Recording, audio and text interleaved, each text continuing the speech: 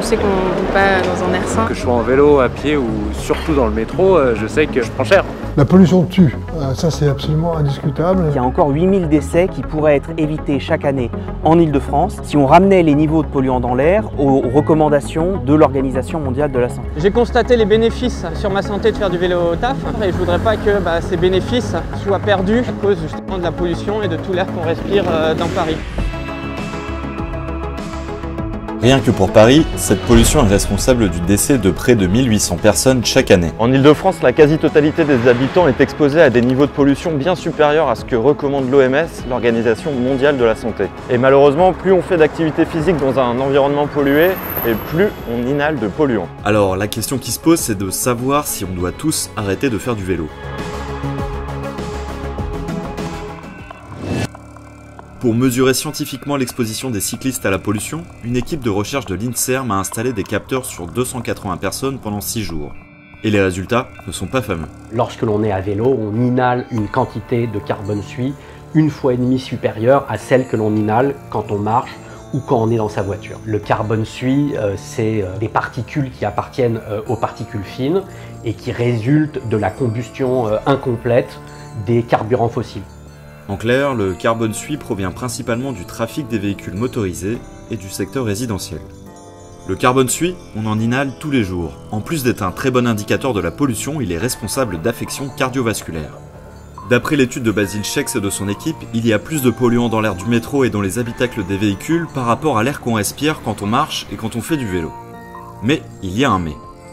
Quand on s'intéresse à l'inhalation de ces particules, là, finalement, on a un espèce de renversement dans la hiérarchie des, des modes de transport. Quand on fait du vélo, euh, l'intensité de la respiration est accrue et donc on respire plus des particules fines qui nous entourent. Et c'est donc ce qui explique que euh, la quantité inhalée de carbone suie est supérieure euh, quand on est à vélo que quand on est euh, en voiture, dans les transports en commun ou quand on marche. Bref, quand on fait du vélo dans un environnement pollué comme l'île de France, on inhale plus de polluants que n'importe quel autre moyen de transport. Et pour savoir quelles peuvent être les conséquences de cette inhalation de polluants à haute dose, on est allé rencontrer le professeur Bruno Housset, qui est pneumologue et président de la Fondation du Souffle. Il est vraiment urgent de, réduire la pollution euh, du fait de la mortalité qui y est associée et ça suppose des mesures politiques importantes, donc ça veut dire qu'il faut agir. La mortalité principale de la pollution est cardiovasculaire, des infarctus du myocarde, aussi des accidents vasculaires cérébraux, et puis on peut aussi mourir de problèmes respiratoires, et puis euh, d'autres conséquences de la pollution sur la santé, notamment le diabète, et puis les anomalies euh, neurologiques. Malgré ce sombre constat, une bonne nouvelle, il faut continuer le vélo. Il faut euh, faire l'activité physique. Et le vélo est une bonne façon de faire l'activité physique et qui va en fait euh, améliorer euh, l'espérance de vie. Ça gagne beaucoup plus par rapport euh, au risque qu'on peut avoir du fait de la pollution. La pollution, c'est un terme générique qui englobe de nombreuses particules et gaz nocifs pour le corps humain, et certaines peuvent être plus dangereuses que d'autres. Selon Air Parif, les polluants les plus problématiques en Ile-de-France, c'est ceux qu'on appelle les PM10, les PM2,5, le dioxyde d'azote Les PM10 sont de grosses particules qui font entre 10 et 2,5 microns. C'est plus grand qu'une bactérie, mais plus petit qu'une cellule.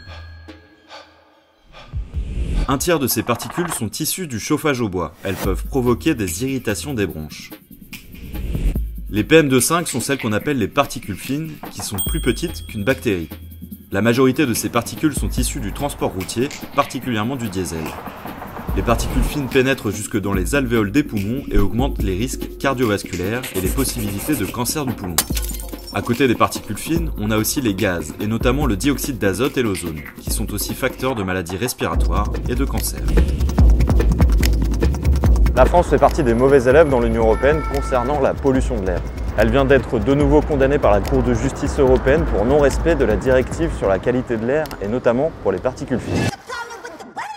Alors pour se protéger, de plus en plus de personnes se tournent vers le masque anti-pollution, comme Florent. En sortie de déconfinement, j'ai commencé à refaire du vélo sans le masque, parce que je n'avais pas de masque à l'époque. Je me bouffais euh, tout ce qui sortait des poches d'échappement des voitures et des motos. Donc là, j'ai regardé sur internet et j'ai trouvé un masque. Alors là, on va faire une bonne descente et ensuite une bonne montée. Depuis que je porte le masque pour faire du vélo, la différence elle est quand même nette. Je respire beaucoup mieux, je tousse beaucoup moins. L'odeur est, quand même pas mal diminuée et je sens une différence au niveau de, mon souffle après avoir fait du vélo. Il va filtrer un certain nombre de particules fines, notamment celles issues des, gaz d'échappement euh, des véhicules. On peut passer là? Allons-y. Il existe de nombreux masques dits anti-pollution en France. Mais selon un rapport publié en 2018 par l'ANSES, l'Agence nationale de sécurité sanitaire, la grande majorité de ces masques seraient inefficaces ou sinon contre-productives. Une des raisons, c'est que ces masques sont totalement inutiles contre les gaz comme le dioxyde d'azote et l'ozone.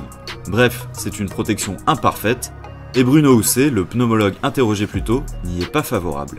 Il y a plusieurs types de masques.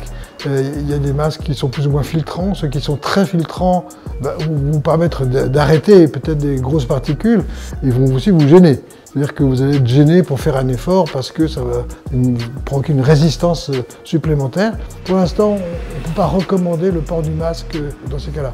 Mais si vous portez un masque et vous faites beaucoup de vélo, vous allez vous rendre compte qu'effectivement, il est sale au, bout d'un certain temps. Donc ça arrête les grosses particules. En revanche, d'autres alternatives validées par la communauté scientifique existent pour celles et ceux qui veulent continuer à faire du vélo et réduire leur exposition aux polluants. Plusieurs études montrent que la concentration de polluants la plus dense se trouve à proximité des axes routiers fréquentés. Si vous le pouvez, pensez donc à choisir un itinéraire adapté, de préférence le plus loin possible du trafic. La deuxième solution est plus drastique, ne pas rouler lors des pics de pollution. Enfin, tout serait une question de vitesse. Plus on pédale fort et longtemps, et plus on s'essouffle. Et plus on s'essouffle, plus on avale d'air et de polluants.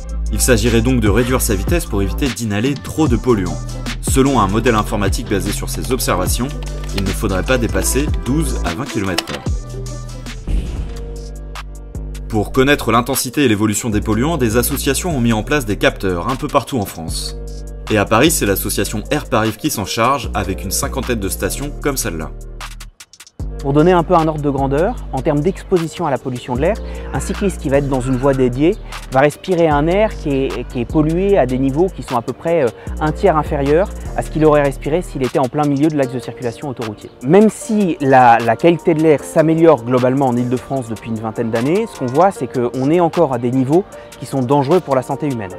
On a publié une étude il y a plusieurs mois qui montre qu'il y a encore 8000 décès qui pourraient être évités chaque année en Ile-de-France si on ramenait les niveaux de polluants dans l'air aux recommandations de l'Organisation mondiale de la santé.